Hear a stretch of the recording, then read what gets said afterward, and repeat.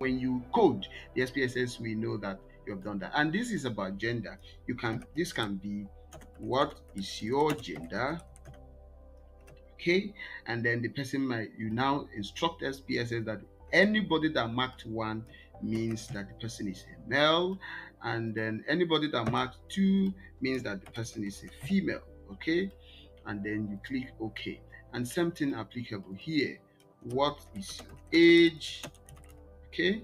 And then you can tell SPSS that anyone that says uh, one means that the person is within the ages of 20 uh, to 30 years